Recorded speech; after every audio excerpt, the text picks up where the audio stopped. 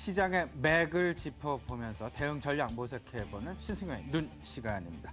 오늘은요 지난밤 가장 크게 글로벌 시장 내 영향을 주었던 뉴스 하나를 가지고 조금 더 집중적으로 분석을 해보고요. 우리 시장 내 앞으로 어떻게 영향을 미칠지 그 부분 한번 같이 생각을 해보도록 하겠습니다.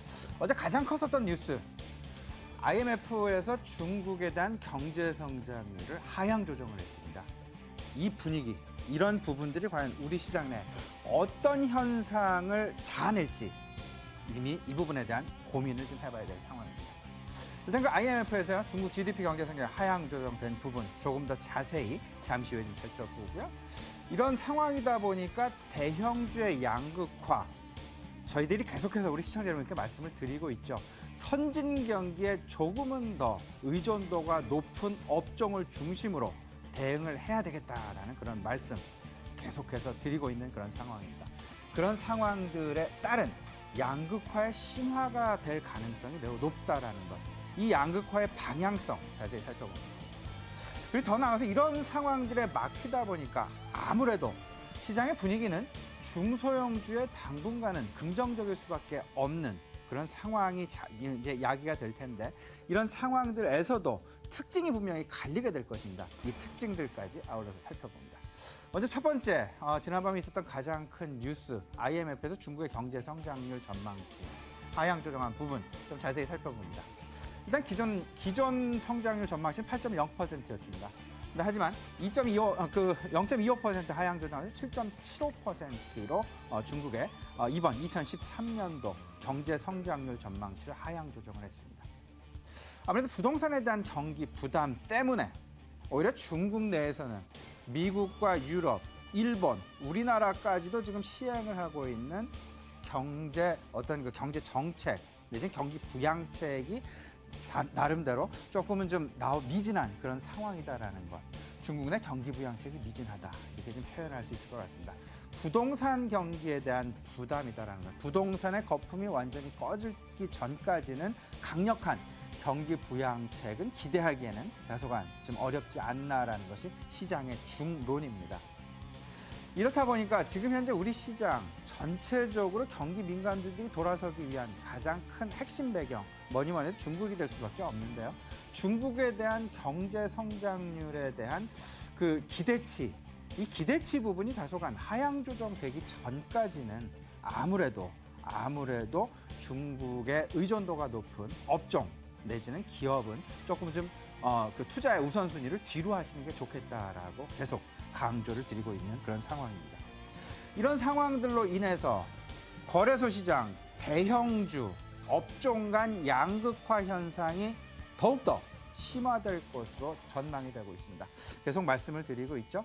선진국 경제와 이머징 국가의 경제를 나눠놓고 좀 생각을 했을 때 1단계는 선진 경제에 앞서서 나가는 방향이고요. 여기에 수출을 많이 하고 있는 이머징 국가 같은 건 뒤따라갈 수밖에 없는 그러나 하지만 아직까지는 1단계인 선진국 경제에 어떤 앞서 나가는 부분이 계속될 가능성이 당분간 더 펼쳐질 수 있다는 것 염두하시는 대응이 필요해 보입니다. 선진 경제의 의존도가 높은 업종 말씀을 드리고 있습니다. IT와 자동차가 선진 경제와 가장 선진국의 경기 상황과 가장 밀접한 그 동행을 하는 그런 모습을 보이게 되고요. 이머징 경제 쪽과 밀접한 상관관계를 갖는 업종은 계속 말씀을 드리지만 화학과 철강 등 소재 업종이 되겠습니다. 다만 금융주 같은 경우에는요. 경기 부양책의 가교 역할을 하기 때문에 이 사이에서 선진 경제, 이머징 경제 사이에서 아무래도 그 다소간 IT와 자동차를 뒤를 쫓아가는 그런 역할을 할 가능성이 있어 보입니다. 하지만 화학 소재보다는 조금 더 앞서서 나가는 우선순위를 따져본다면 IT 자동차, 금융, 그다음에 화학 철강이다라는 것. 오늘도 이제 건설업종 관련해서 해외 수주, 저가 수주 얘기 나왔습니다. 저가 수주가 당분간 기업에 부담이 될, 수 없, 될 수밖에 없다라는 부분. 아무래도 건설 경기 자체도 우리 지금 수익성까지 연결되기에는 조금은 더 기다리는 그런 상황이 벌어지지 않을까 이렇게 생각이 됩니다. 따라서 당분간 IT와 자동차 중심의 시장 양극화 현상 계속 지속될 가능성이 높다라는 부분 생각을 좀 더 해두셔야 되겠습니다. 이런 상황이 거래소 시장, 대형주 시장에서 벌어지다 보니까요. 오히려 분위기, 중소형주에는 당분간 더 긍정적일 수밖에 없다라는 것. 하지만 중소형주 역시도 그 성격 자체가 매우 슬림화되면서 차별화 양상이 전개될 것이다. 큰 그림 속에서 거래소 시장 디커플링의 해소의 핵심은 중국이다라는 말씀 계속 드리고 있습니다.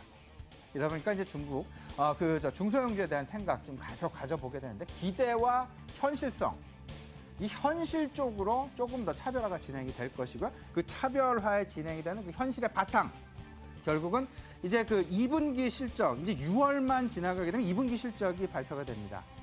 이제 그 4월, 5월에 대한 성적표가 서서히 시장 내에 한 사람, 두 사람의 입에서 나오고 있는 그런 상황입니다. 코스닥주, 중소형주 2분기 실적 가시화가 진행되고 있다라는 것. 그렇다면 실적 중심으로 차별화가 될 가능성 매우 높다라는 것 꼭 좀 염두하시고요. 코스닥 시장 대응 전략하셔야 되겠고요. 거래소 시장 같은 경우에는 중국 시장의 변화 부분, 중국 산업의 변화 부분, 꼭 중국 경제 변화 부분에 꼭 귀 기울이시는 주목하시는 그런 자세가 필요해 보인다. 다시 한번 강조해 드리겠습니다. 전반적인 상황들 교보증권 김영렬 팀장 스튜디오에 모셨습니다. 자세히 얘기 나눠보겠습니다. 잠시 뵙겠습니다.